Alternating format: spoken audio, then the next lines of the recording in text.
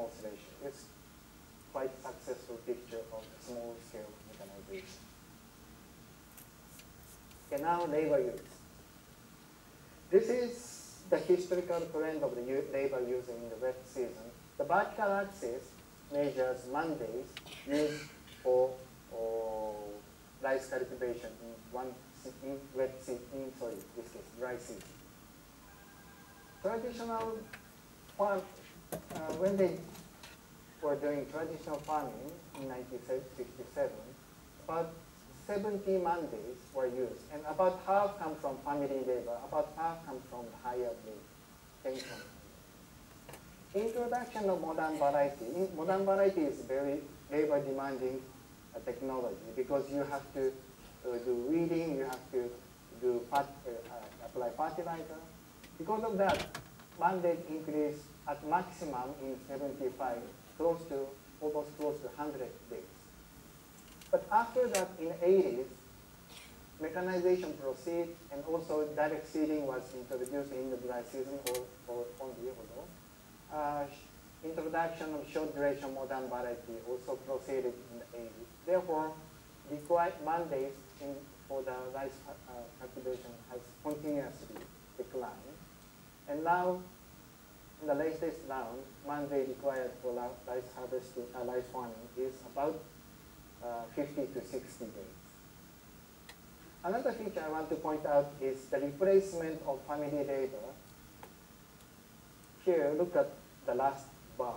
Uh, only 10 to 15 days family, uh, farming family use family labor. And rest of the work, uh, work is done by uh, hired labor. Because as we, I, we will see later, family labor becomes more expensive they are more educated, they are going out for the non-agricultural work. So farmer is now trying to hire cheaper agricultural labor from outside.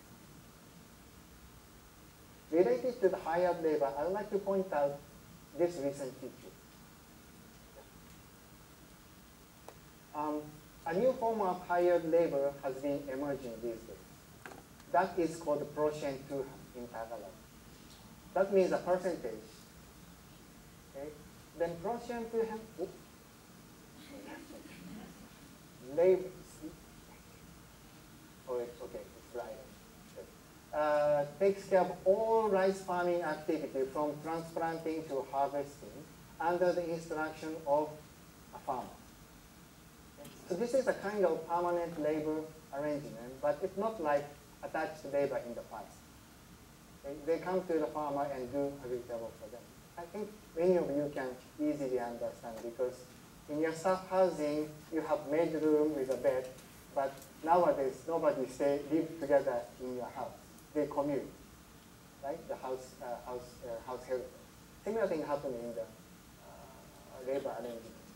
They don't live together in the house. They commute and take care of it. And the porcento hand labor laborer receive usually 10% of gross harvest at the end of the season. So this is actually the outsourcing of farm caretaking.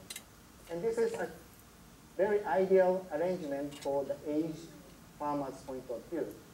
They are already very old, so they don't want to go to the field under the sun, so they just sit on a chair and give instruction to the porcento hand labor, do this and do that by this and apply fertilizer on field at this point of and such and such. So this is very uh, convenient for the aged farmer, but it is also getting more difficult to find a skillful and experienced porcento labor. Because porcento laborers also moving to the non-agriculture sector. More or less, uh, every three to five years, the farmer has to find a replacement. That is now the headache of the farmer. Okay, changes in profitability and distribution.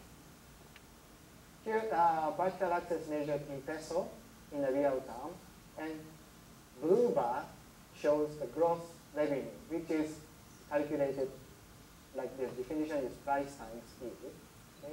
And orange bar uh, shows the total cost, which is the paid out cost plus imputed cost. Imputed cost is sort of the hypothetical cost paid to family labor, own tractor, such and such. Payment to the own factor. So the gap between gross revenue and total cost, this portion in this year, is the profit. The striking fact in the wet season is that profit is disappearing, has been disappearing in the wet. In 2000, it's almost, profit is almost zero. On the other hand, dry season, somehow they maintain uh, profit in farming. What are the underlying factors for this difference? First, as we have already seen, dry season, okay, as we will see, uh, paddy market price has been going down. But yield continuously increased in dry season. So this effect is larger than this, so revenue increase in dry season. On the other hand, yield stagnant in the wet season. Therefore, revenue declined in the uh, wet season. That was what is going, uh, the reason in the previous video. Total cost, going back to the uh, this bar graph, more or less total costs are stable, both in dry season and wet season. But you should not uh, misunderstand this feature. This is not because farmers did not change their input, uh, input use, but rather this is a result of the cost minimization, cost minimization effort by substituting inexpensive input for the expensive input. So farmers are seriously managing their farmer, and somehow with this effort, they maintain this level of cost. Okay. Now, uh, the factor share. Factor share shows, okay, out of, let's say, uh, out of the uh, return, what proportion of that return goes to each individual factor. For example, in this period, this portion, maybe 50%, 15% of the uh, revenue goes to material input, such as fertilizer, seed, and chemical. And this portion, maybe 10 or 20%, uh, went to higher grade. And then up, look at, now look, let's look at this bar graph from the top. This portion, the brown portion, is a profit obtained by the uh, farm. And this one, shared to the own land, this one, shared to the own capital, this one shared to the family level. Therefore, from here to here, this proportion uh, is the share to the farm operator. And this orange part, this is the uh, share to the land. Therefore, this is the share to the land. So from this figure, we can say that first, land rent, the orange part, okay, the share declines so quickly and nowadays it's so small. This is one of the uh, benefit of the land reform. Land reform put the cap of the rent. So uh, also uh, owner carriage beta is increased by the land reform. So the payment land payment to the landlord has sharply declined. So this is contributed to, this contributed to the equity between landlord and tenant. Another feature is that in 2000, here this portion orange, dark orange is the share to the higher labor, and sum from top to this portion is the share of farm. And I didn't show the figures, but this portion is larger than this portion in the latest. This means that the share of higher labor is larger than share of farmer. So this indicates that poverty alleviation, so recent change in the share change contributed to the poverty alleviation among poor agricultural labor.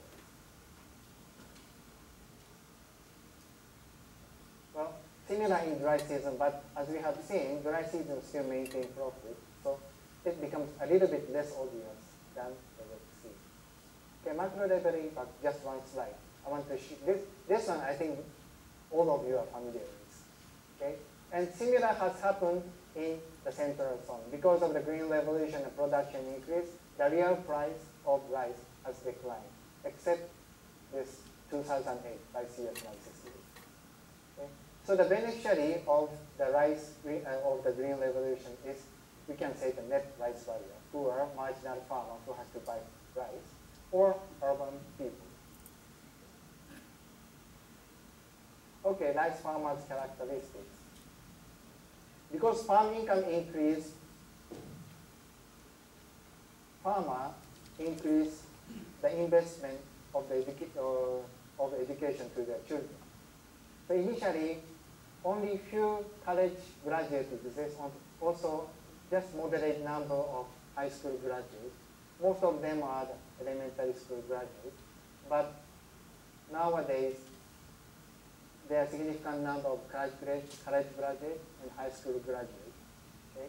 And there's an elementary school graduate, this level still exists, but they are actually the parent generation. This, so most of the young belongs to this group. And once they get education, actually they lose the interest in the farming, they move out for the non-agriculture, and now they are facing the lack of, lack of successor uh, in farming. Related to this, okay, this is the change of the income sources over time. Rice is a blue uh, area. It was a dominant source, so farming really means farming. Farmer really means farmer. Okay? But young one went out and only the old age parents continue farming. And now only around 20% of income comes from rice farming. And major source is either remittance, this one, or of farm employment. So there, I don't know whether we can still call them farmers.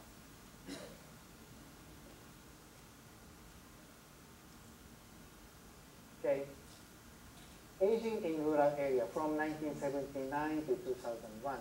In 1979, you can find a lot of young people in the, in, in a village. This is a population pyramid. And average years of the farm operators 43 years old. But gradually young exit for the cities, they're moving out from the uh, rural uh, villages, gradually decrease. Now, the shape is not like pyramid anymore. And this shape is actually quite close to the shape of population pyramid in the developed countries, reflecting the aging of the society. Okay. So uh, these are the pictures from the field. They are the, uh, our loop survey respondents. You can see how aging proceeded in the loop survey area.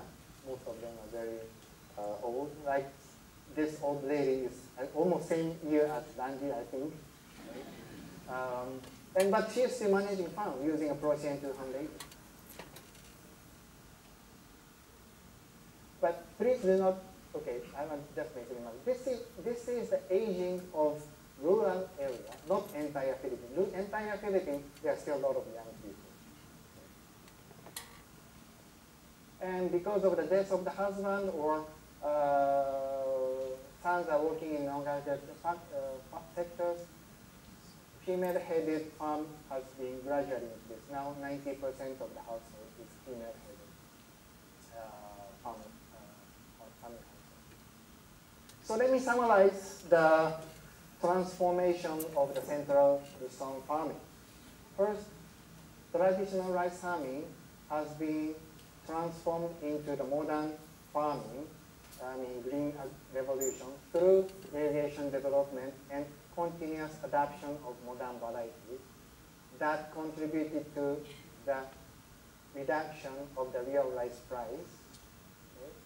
At the same time, this one increased farm income together with land reform. Land reform increased farm income because tenant become landowner. The owner doesn't have to pay land rent anymore.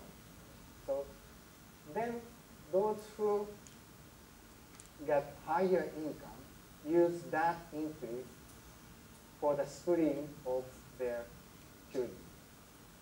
Then ironically, those who get education, thanks to the green revolution, are not interested in farming anymore. They move out to uh, non-farming sector. And green revolution also increased the labor income of agricultural labor, as we have seen in the factor uh, share figure. And most of them are landless, so it contributed to poverty reduction, alleviation.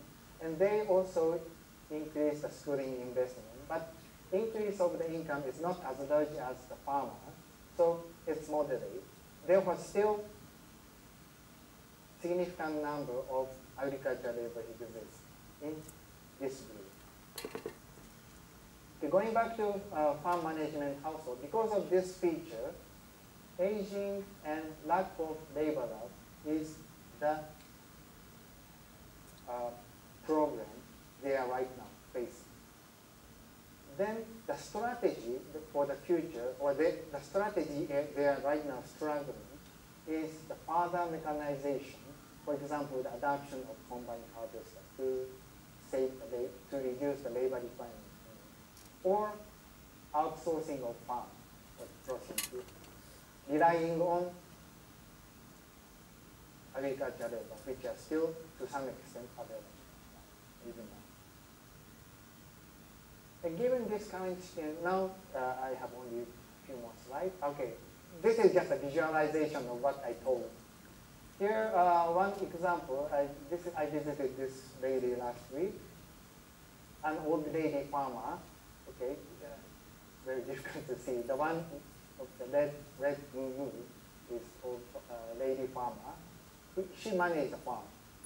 And just this year, she got this new house, but not from her farm. But this house construction is financed by a daughter in Manila who is managing the logistics farm.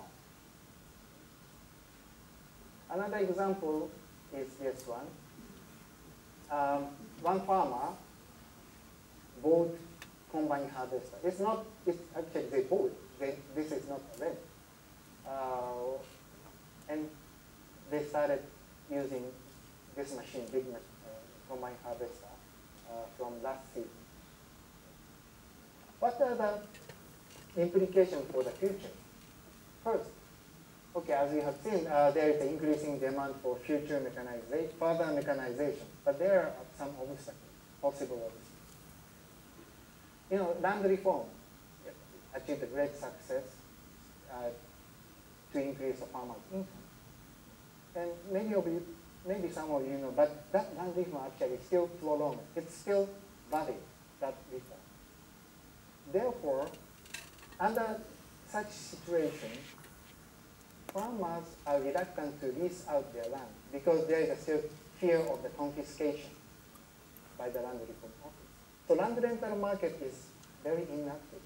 That is the, you know, uh, the obstacle for the consolidation of the land. So to, to enjoy the scale economy of the mechanization, prerequisite is a land consolidation, but probably that is not so easy in the field.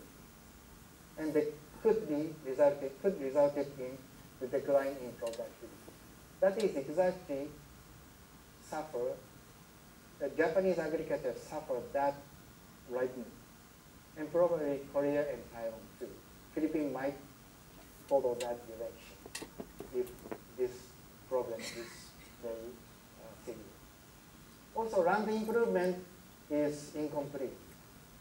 You know, rolling landscape and soft soil, under that condition, it's very difficult to operate combine harvester. So combine, diffusion of the combine harvester may be very location specific. Okay, another issue is outsourcing of farming under porcento arrangement. This may increase inefficiency. As we have as I already mentioned, you know, uh, because of the supply lack of the labor, laborers, mm -hmm. frequent replacement of Prussian, Prussian two-hand laborers. Every three or five years, they have to find a replacement. But new one may not so familiar with your plot because they are new to the plot. And they may not know exactly very plot specific agroecological feature. Actually, Hayami and Otsuka 1993 find that inefficient production by such a caretaker, such protein Therefore, this inefficiency could be the future and under this Another issue is flood in the wet season. Is this is an emerging concern. It's a man-made disaster. Uh, flood, flood spots are very patchy, and seriousness varies by location. So I actually, for this, to, I, am not quite sure what is the best strategy. What is the best? Maybe development of new varieties, abiotic stress, fit to this kind of uh, you know, uh, condition, or maybe engineering approaches may be more appropriate. It is okay. And the last one I'd like to point out is this. Um, we need further effort to maintain low insecticide use. So far, the Philippines use the lowest amount of insecticide than other Asian countries like Thai, Vietnam, and China. It's a big advantage, you know, uh, positive side of the Philippine rice farming. But new varieties released since 1997 have much less resistance to pests and diseases. Therefore, uh, recurrence of the insecticide use may occur in the future. So should resistance trait be added again in the future or in the, in the future varieties or are there alternative approach to avoid uh, insects? So that could be important uh, agenda for the discussion. well, uh, this is a summary of the book uh, we have published recently. The former more please look at the detail. The first author is Pai Moya, and myself, Randy, Sam Mohanty, and Fe, Gascon, and, and Rose. Okay? And you can download this one for free. You don't have, have to memorize this website. You can just Google it. And you can also download the data, raw data of, of the loop survey. Additional, uh, one more advertisement using the loop survey data, the simulation game program is developed, It is called the game of rice. This one is simulation as if you grow rice as a farmer. Then you can learn how farm actually you know, struggling with many kind of issues. And please visit this website.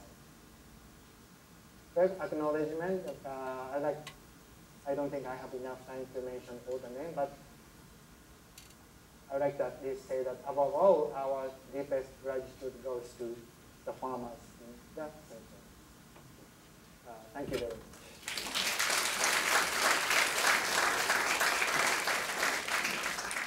Thanks, Kei, for the great uh, presentation. Very last time for question.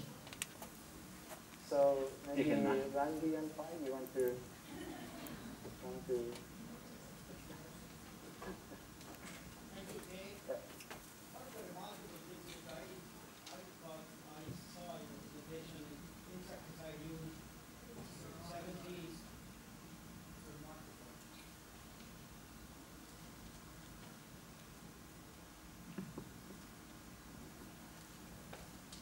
the insecticide use in 70s and then dropping it fast. And you seem to have concluded that maybe because the varieties which were released later on, they had more insecticide resistance. Mm. resistance. Mm. Now there was another view about this that a lot of private companies were pushing insecticide use, and, and so there was a heavy use of, I would say, you know, unwisely use of insecticide. So what is really cause and effect relationship? Is it really because the insecticide resistance has gone up, that's why farmers don't have to apply insecticide? Or is what it was not ne necessary in any way? And other question, Kei-san, is it possible for you, from your data, the productivity increases, at least in dry season, could you separate out the effect of varieties and management? Okay, um, first question our understanding is the um, major causes of this decline is here as we in the educational campaign and IPM. And probably I didn't mention the introduction of pest and disease resistance variety, but probably that also factor. But yeah, that's a good point. Uh, and so if anybody familiar with that aspect, maybe you can. I'm not familiar with that. And just, just one. Second point, yeah, that the separation is possible through by using, I think, regression analysis and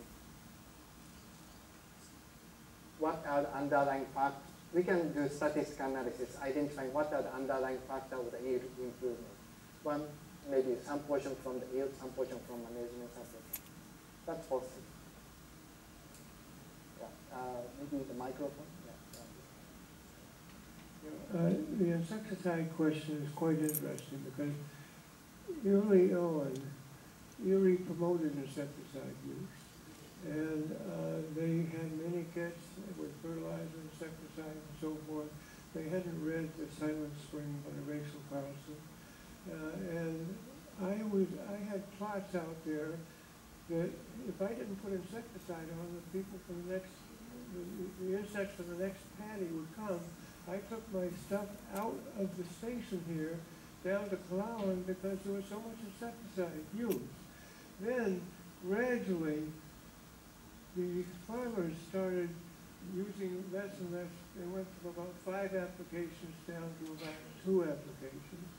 Now IRRI actually came later, and you know, many of you know K.L. Heong. Uh, K.L. Heong is a great uh, advocate of overuse of insecticide. And K.L. Heong told me that uh, finally Klaus Lampe called a meeting here at IRRI to say do something about the overuse of insecticide at the IRRI station. And he said, he wrote, and K.L. Heong wrote the directions. And he said that he had a terrible time arguing with some of the uh, scientists like uh, Khush and S.K. De Datta because they were in bed with the insecticide companies. And so finally, uh, and by this time, uh, Prabhu Pingali and some of the people at the college were writing about not only the bad insect, insect damage on the crop, but the bad insect damage to humans and to people. And now, uh, the, the, the question of what happened in the Philippines, this statement is a hypothesis, not a complete agreement. In terms of the education campaign, yes. But I can tell you that there's been brown plant hopper attacks in Thailand and in Indonesia within the last year or so. So my feeling is that IRRI needs to take a stronger stance working with outfits like the, the Philippine uh, Pesticide and Fertilizer Association to convince the governments to ban the use of insecticide because the Chinese are dumping all kinds of cheap insecticide as, as well as the private sector. That's my, that's my speech.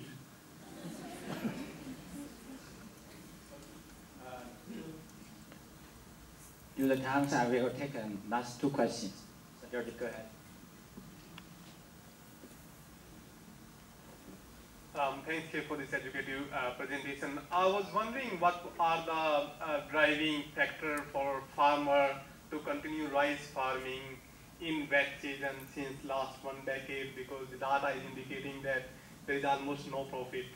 Um, the second thing is uh, I was wondering whether you have considered mechanization, contribution of mechanization on imputed cost. Um, looks like I was wondering about like whether that factor has been uh, considered because mechanization has been picked in last one decade. Okay. Um, first about the uh, yeah wet season. Well, personally, um, maybe all farmer doesn't have to continue with season because it is less profitable. And